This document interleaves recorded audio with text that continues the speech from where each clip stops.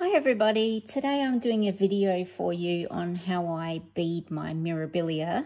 I have had a lot of requests um, from people asking if I could show how I do my beading and seeing as I'm almost finished beading this Mirab oh, Mirabilia, I thought I'd better get this done, otherwise I'm going to have to wait a while until I'm up to the same process again. So um, this particular design I'm showing today is Mirabilia Mermaids of the Deep Blue, which I'm doing as a conversion. And my fabric is 28 count Night Sky Opalescent Lugana from Pulse, Polstitches, yes, uh, in the UK. And I'm I have stitched this two over two. Now, I'm just going to turn my magnifying light on so I can see a little bit better and I will zoom in for you in a moment um, to watch the actual process.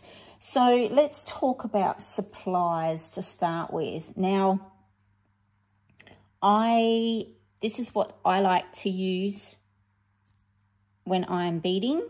And when I say I like to use, I really don't like to use um, this is invisible thread. This particular one is Wonder Invisible Thread.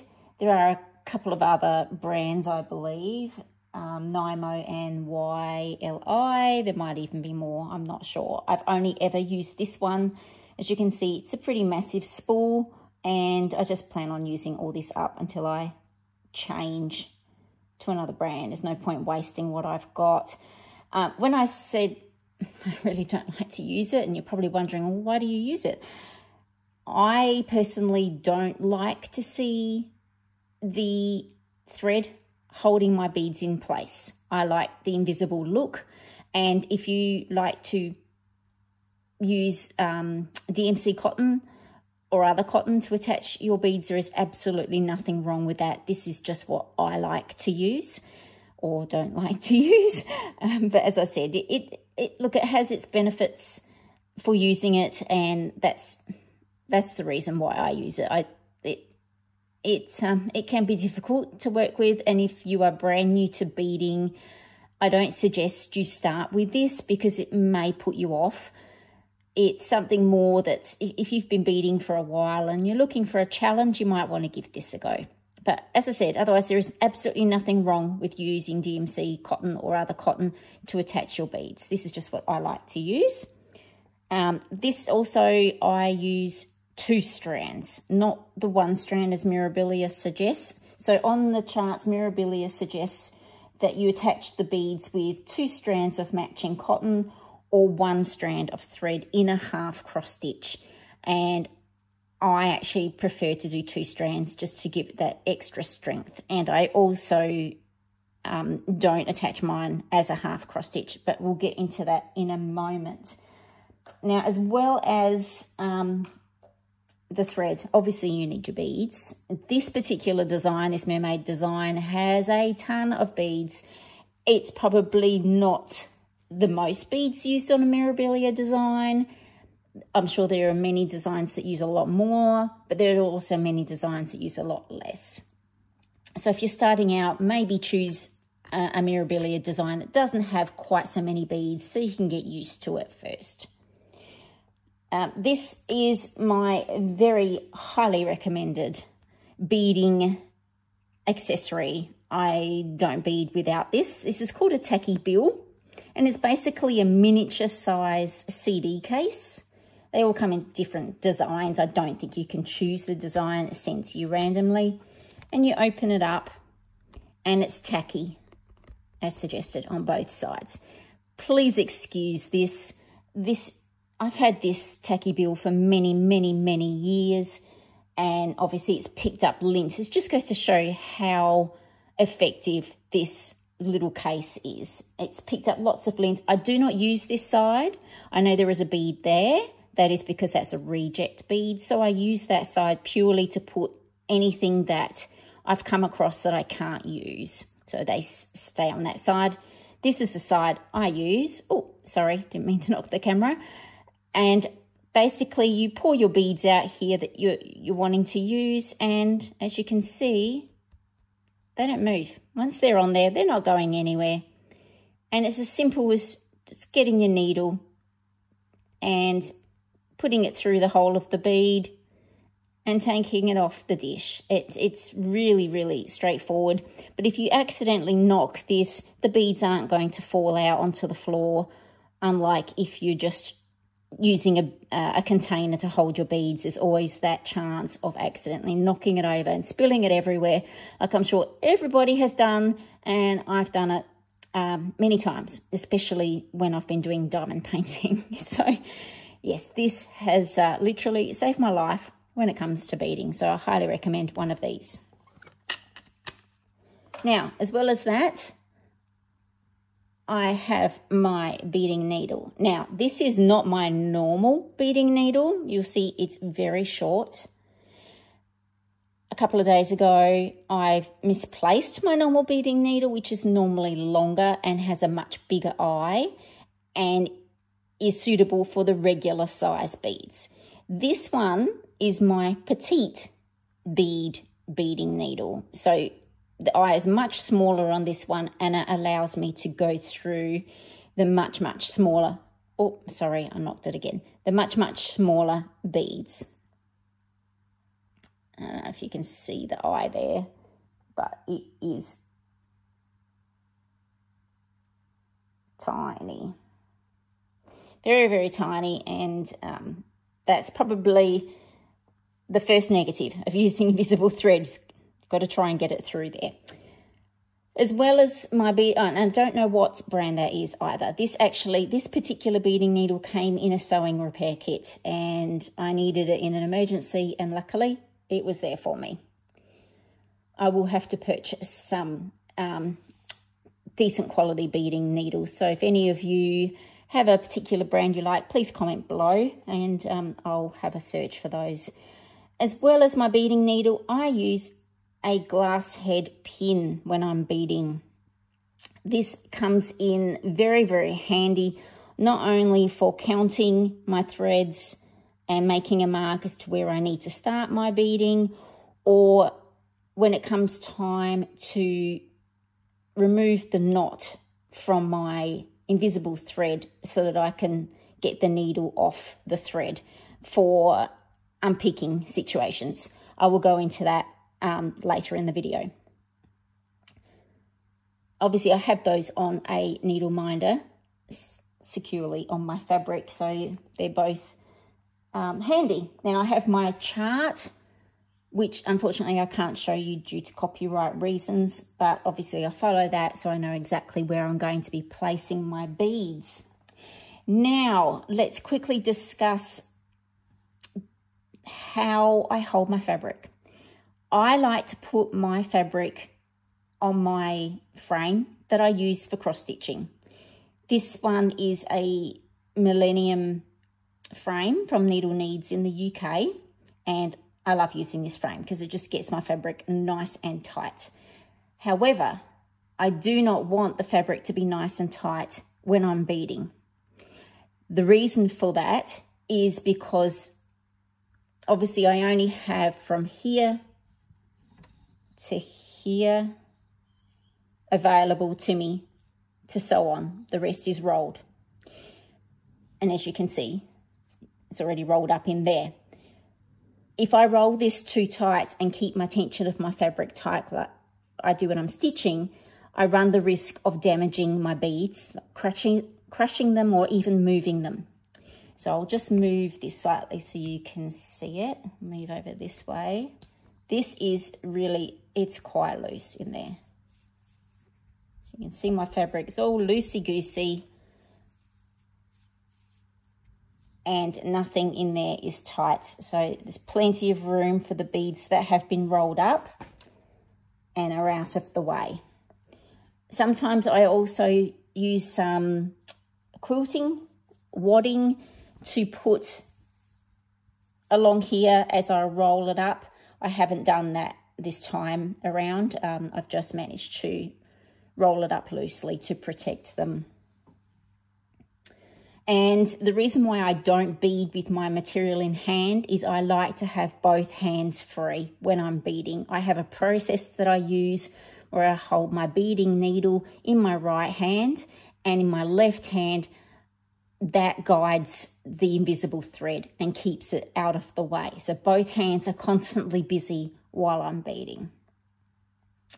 Now, I just before I start beading, I do want to go into quickly the the recommended bead sizes. I, I feel like this is not talked about enough, especially with Mirabilia designs, and anyone starting out can easily make the mistakes I've made in selecting bead sizes. Now, for this Mirabilia chart, just need to bring it up here. These are the beads here. Now, the recommended fabric, which you can see written up here somewhere, here we go, is, well, not recommended, but this is what the model was stitched on. It's 32 count Mediterranean sea linen or 16 count Mediterranean sea Aida. So 32 count would have been stitched two over two. Now, in my experience, the regular size beads, which are what these are that have been recommended, do not fit well on 32 count fabric. And especially when they are attached as a half cross stitch, which means the beads will lay diagonally. I have also come across this issue with 28 count fabric that has been hand dyed because during the hand dyed process, a lot of the fabrics will shrink, therefore making them around a 32 count in the end. You can fit the beads on, not in my experience, not diagonally, especially if there are a whole bunch of them placed together. If they're sparse, there won't be an issue. But Mirabilias um, quite generally will have a whole heap placed together. I'll just move this here for you here and you can see as an example here we have a whole row of them. Now when I get so many in a row I get to the point where I'm really starting to um, not be able to fit them in because the beads are, the reason is the beads are slightly larger than the count of the fabric. So as I said, when you get a whole string of them, it's very hard to fit them all in. Now, there is a way around this. You can purchase petite beads, which are exactly the same colour as the recommended beads, but in a smaller size. So how you would purchase those is where you see the number required for the bead. So example 02011, if you wanted the petite size, you would order 402011. So that 4 generates the fact that it is a smaller size bead and they are exactly the same colours. The treasures, however, I believe are only one size. I may be wrong, but so far I've only been able to find them in the one size. But treasures aren't really an issue because they generally have a much bigger area that has been allocated to place them on the fabric and you generally won't have an issue with that on whichever fabric you are choosing unless you're choosing, you know, maybe a 50 count or something. I don't know. I, I don't stitch on that size, so I can't I can't say that. Um, so yes, had I realized this in time, as I said, this one has a ton of beads and I had already purchased them. And once I started attaching them diagonally, I knew pretty quickly that these are not going to fit and it started looking like a really big mess. And I wasn't happy with that. I'm really fussy with my beading, too fussy. Um, but anyway, I decided to try them um, sideways, which is how I place them. If I zoom in a little here, bring the fabric down, There you go. You can see that they, they're placed sideways.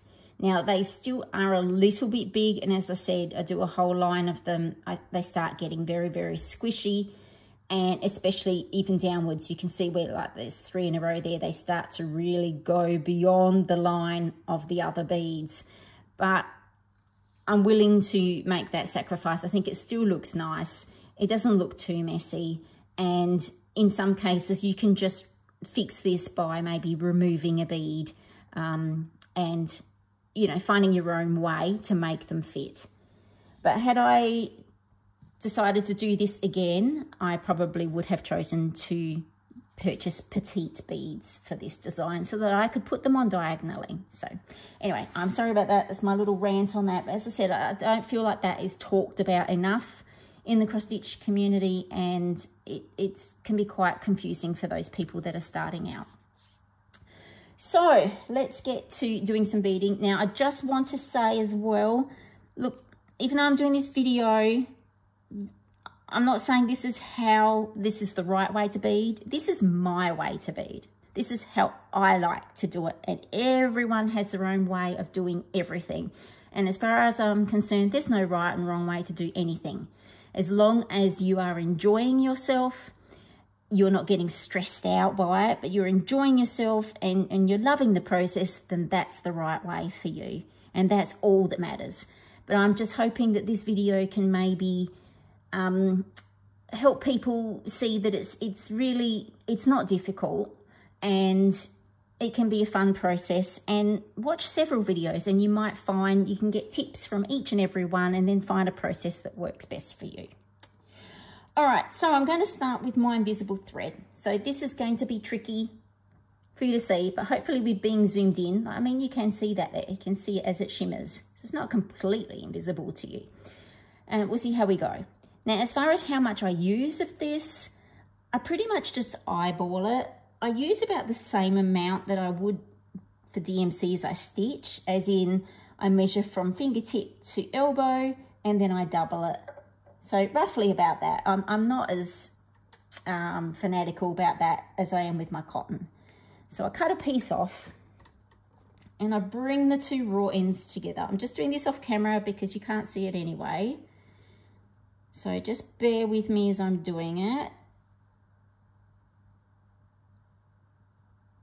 All right, so I've got my two raw ends, which, oh yeah, you can sort of see it. And I'm going to get my beading needle, which is over here. And I'm just going to do this off camera because this will be, this will take forever, sorry, if I do this while you're watching. All right, now I have learned another tip when beading with invisible, when threading your needle with invisible thread. Obviously, it's it can be really difficult to see, and I showed you the eye of this needle, which is, you know, the tiniest thing, and I really wish I didn't have to use this for the video. The tip is try and put a dark background behind you. So where the eye of the needle is, put a dark background behind you and you can actually see the threads going through that hole a little bit better. Okay, so I've attached the thread through the eye and I've done a single knot. And I'm just going to do another knot. Okay, so you can see, and I pulled that pretty tight. Now, this is the other downside of invisible thread.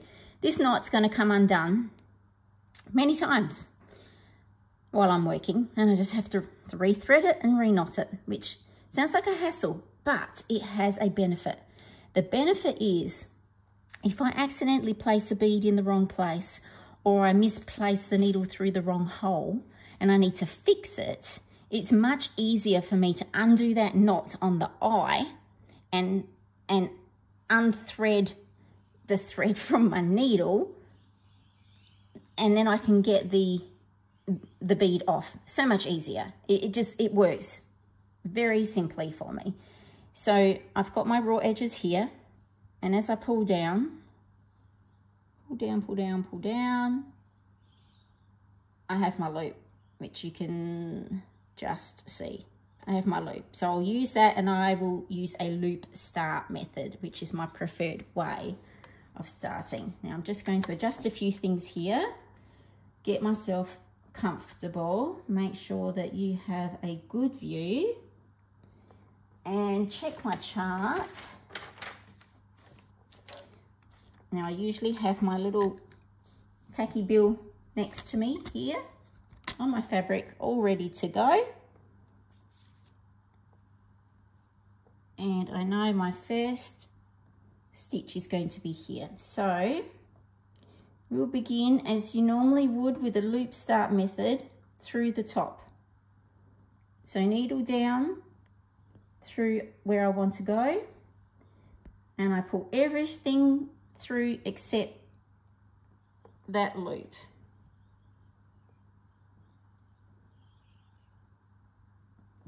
Okay, and then I'm going to go up through the top right.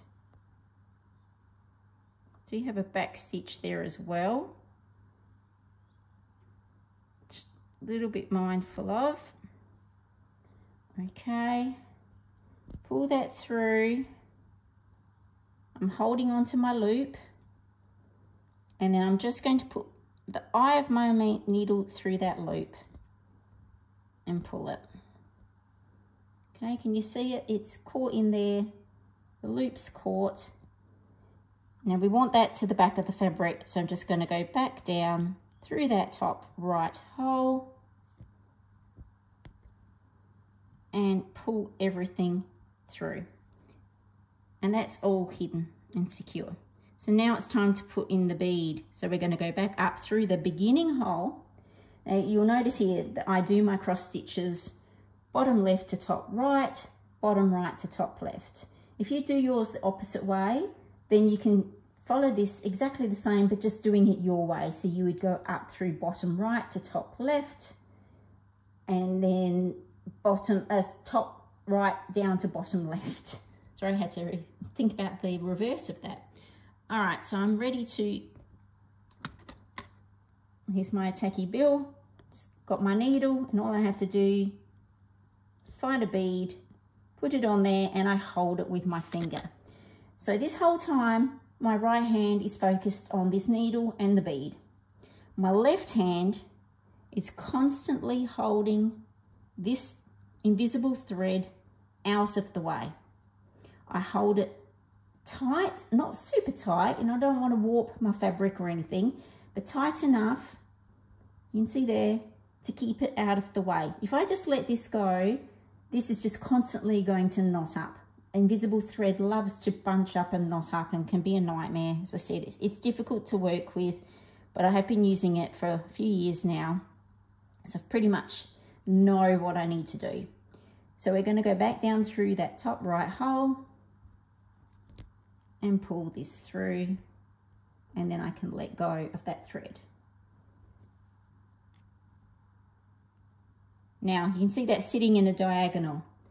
Now if you were just to um, do it as the Mirabilia chart states, that's how you would leave it. And then you'd go on to your next bead. As I said, I can't fit mine on my fabric like that. So I need to do an additional step. So now I need to go up through the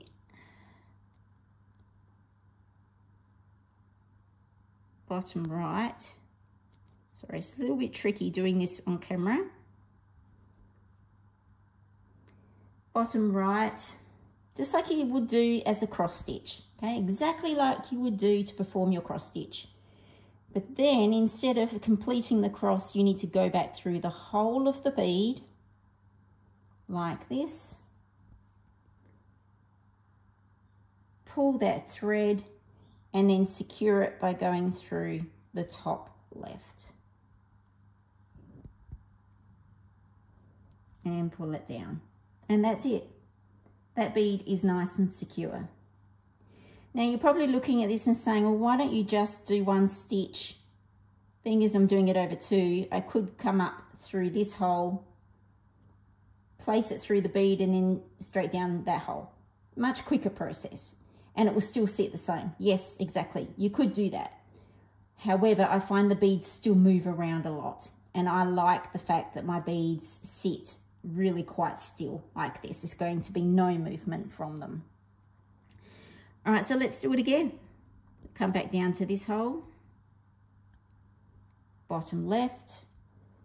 The whole time, You see that pulling? That's my hand underneath holding the invisible thread. I'm still keeping it tight underneath as I do on top.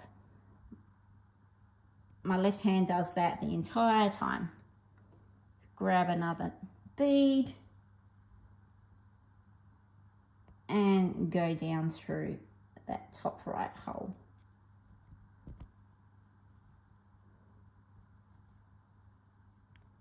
So I think for me in future, I will definitely consider buying petite beads for my mirabilias so that I can attach them diagonally. Now, as I've just been talking, my knot has come unthreaded from my needle. I said that would happen and I probably just didn't quite do the knot tight enough. So I'm just going to re-thread that. All right, that's done. And so now all that's left to do is we go back through the hole of that bead. Oops, being very careful not to catch my other threads. And that's the other thing you need to be very careful of. As you're beading, the thread will catch on to other beads nearby. So holding this again gives you more control over where that be uh, sorry over where it goes all right and we'll do another one load up my needle now the other advantage of the invisible thread is the fact that I can actually run it through the back of my work and not have to worry about it being seen. So if I had, for instance, if I had some beads over here that, sorry, over here that I needed to do, I could just run the invisible thread over here and you're never going to see it. So I like that aspect of it as well because obviously mirabilias don't always have beads attached to the cross stitch design. They have beads floating in midair. So it's nice to be able to do that as well. And I'll show you what I do when I need to unpick something. I'm so sorry, I keep knocking that camera. I've got it very close so that you can see what I'm doing. But I run the risk of knocking it all the time.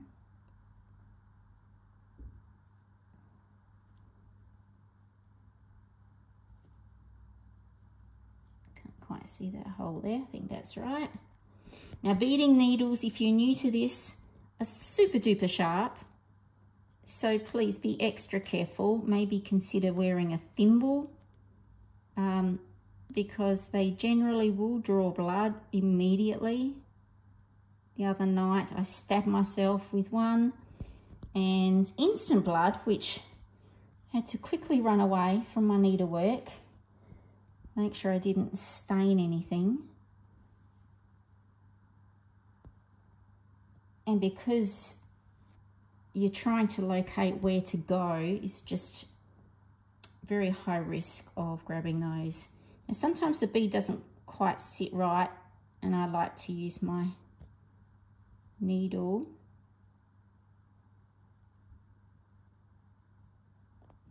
I think I might have placed that in the wrong spot. So I'm going to use this time to show you how I can unpick. So here's my needle with my knots, which have moved down a bit. Oh, look, they've actually come undone. All right, that's not a very good example, is it? I wanted to show you how I actually unknot them. All right, so I'm going to show you, here's my knots on my needle. So I just get my pin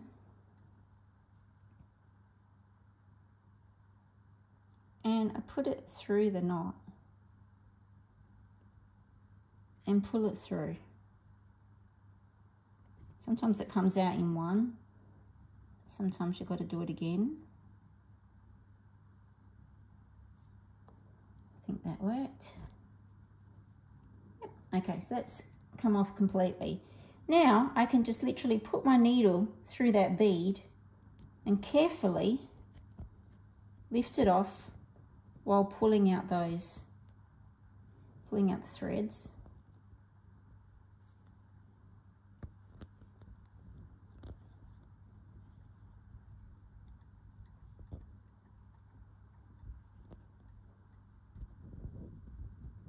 Oh, oh, sorry, it was a bit tricky. All right, so there's the, the bead I just removed. Put that back in my tacky bill. And then I can just go back, knot my needle again and start it again. So it's a much simpler process to unpick a bead. Sometimes it can be tricky otherwise. If you try and go in through the same hole to get the thread, um, sometimes you can just create more of a mess. And no one likes to unpick, but I've had to unpick beads many times. And this process works really well for me.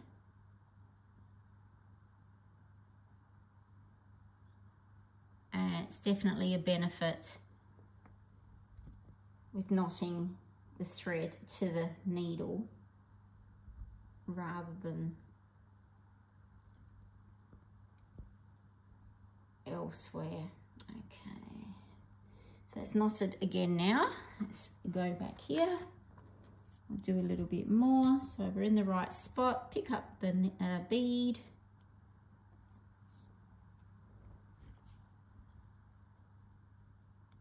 make sure I come up through the right hole this time. I think I was a thread off or something and that's all it takes sometimes to for the beetle not beetle for the bead to not sit straight and, and you know beads just naturally do move around a little bit they're not all perfectly shaped now when it comes to beading a design I don't bead um, per color. So I don't like pick one color of bead and just do everything in the area of that color. Um, what I like to do is I like to bead in sections. So for example, if I was doing this section and there was pink, then silver, then green, then pink, then green, then silver, I would just, I would work out a process of how I'm going to stitch. So I'm going to start up here, I'm going to work my way down here, up and around here. And that will be my process so then I would just choose the relevant colors as I'm coming up and around, as opposed to, you know, going from here over to here, over to here with that color, then coming back here, then doing another color. To me, that's it's more confusing for me doing it that way. I don't know how other people do it, um, but that just is easier for me. And, and as I complete a section, then I mark it off on my chart I am a very slow beater. Some people are quite fast. I'm very, very slow. This is probably because I have to keep knotting my thread to my needle um, and fiddling around with the placement of the beads a little bit. But it's okay. It's all about enjoying the process, having fun with it. I can bead while I'm watching TV as long as it's not something that requires me to look up at the TV all the time. I just like to, you know, I can put on a movie and listen to it and just bead and occasionally look up and that's fine. I'm happy to do that. I'm so sorry. I keep knocking this camera. Really hoping I'm not making you seasick. Um, so yeah, as I said, I'm not saying that this is the way to bead. This is just how I do it. I'm self-taught. Um, I think I did watch a couple of videos when I was starting out. I can't really remember who they were, just to get a general gist of how the beads should lay. I think they were all diagonal. Um, and then when I came across the problem of them not fitting, um, yeah, it just frustrated me. So I needed to find a way to make them fit. And it's come unthreaded again, would you believe? It, this doesn't normally happen this quickly. I need to secure my knot a bit tighter. Um, also, this invisible thread does stretch too, so it's something to keep in mind. Not to, if you use this stuff, don't don't pull it too tight when you're um, doing your beading because you don't want it to warp the overall design. See how quickly I threaded that? That's because I was talking, wasn't um, focusing on the fact that you're watching. That's the key.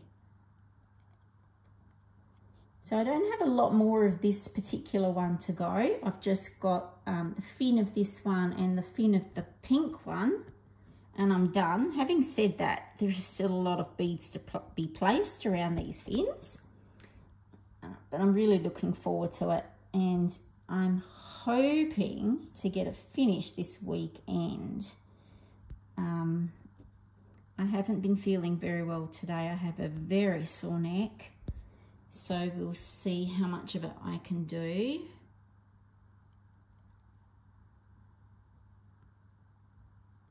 And hope for the best. But I'm itching to get back to my other projects.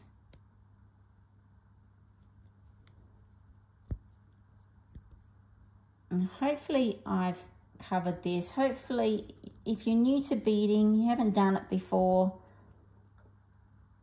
um, I ho really hope you'll give it a go. It's It does look scary, but I don't think it is. And maybe start off using the DMC to attach the beads. I would recommend using a colour that matches the beads or possibly even a colour that matches the fabric. Um, see which one see which one is the least sorry just checking the hole placement of that one yeah see which one is the least noticeable and then at some stage if you want to try the invisible thread I mean no one says you have to but um, if you wanted to try it and you're up for a challenge, go for it. I I can't see myself. I've I've never used DMC cotton to do beading, not not once, um, and I just don't really ever plan to. Really, I figure I can do it this way now might as well just stay with it.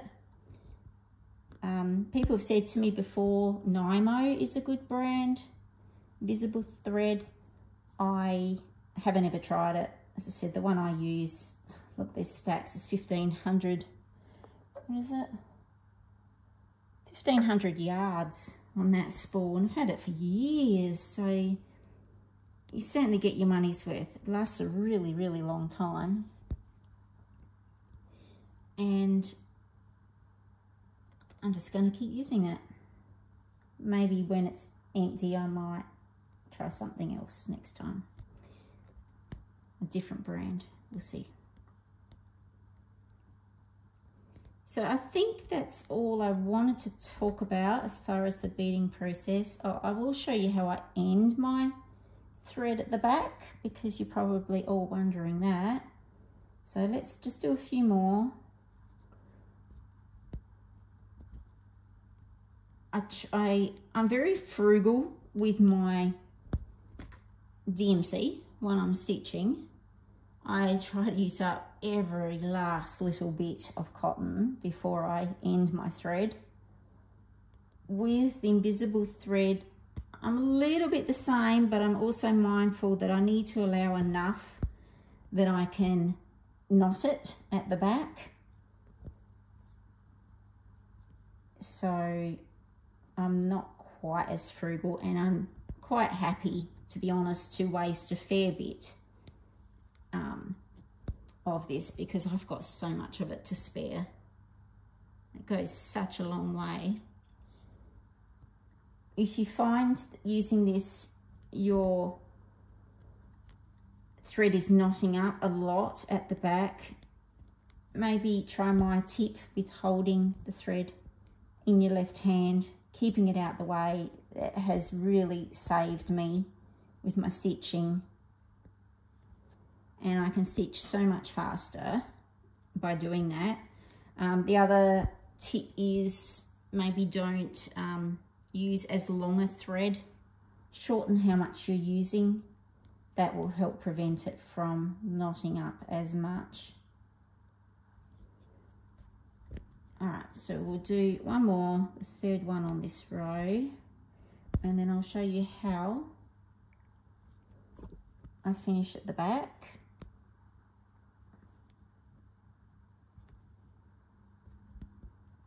You don't need a frame either if, if you want to bead. You can certainly bead in hand. I think, I'm pretty sure a lot of people do bead in hand. You might find that easier. As I said, please try your own way. Try lots of people's ways and, and see what method works best for you. You might find a little bit of help from me, a little bit of help from someone else, and you can just put it together and find your own complete technique. That's all that matters. Just, just enjoy what you're doing. There's no right or wrong way. All right, so even though I've got a fair bit of thread left on here, I would normally just keep going. I'm gonna finish off at the back so you can see how I finish off. So let me just move my tacky bill out the way. All right, I'm just going to flip this over to the back.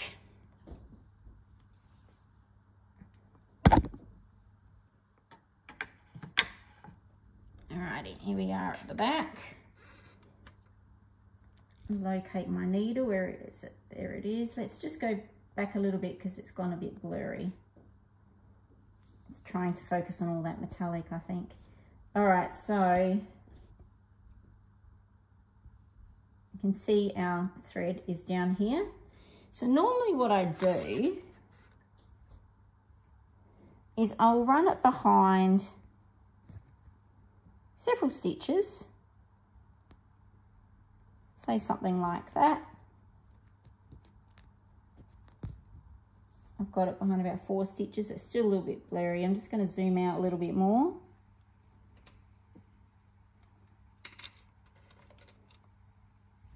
Okay, and then I will just go behind, say maybe two stitches. bring the needle up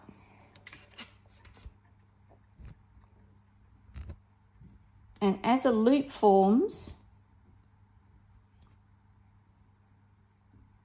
I'll put my needle through the loop. Whoops.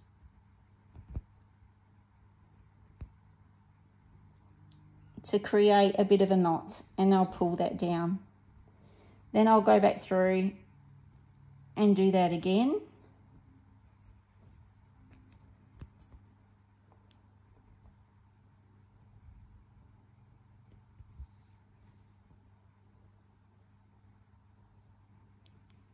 pull it tight, and then do it again. So I generally do about three knots.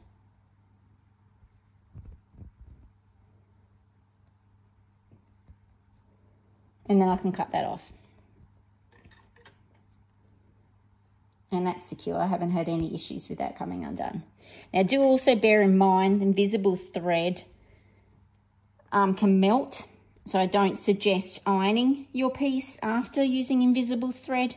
Otherwise, you may find it will all melt away and then all your beads will fall off. So that's a pretty important tip that maybe I should have said right at the beginning. But yeah, maybe maybe give your um, piece an iron first before using that. If, if you're someone that likes to iron after you've beaded, maybe consider DMC thread instead. So that's it for the tutorial today on how I do my beading. I hope you enjoyed it. I hope you learned something from it. And I'd like to thank all of those people that requested this video. And I hope to do some more videos like this in future for you showing how I, how I do things. So I hope you all have a great stitching day. Thank you for watching and I will see you all again very soon. Bye for now.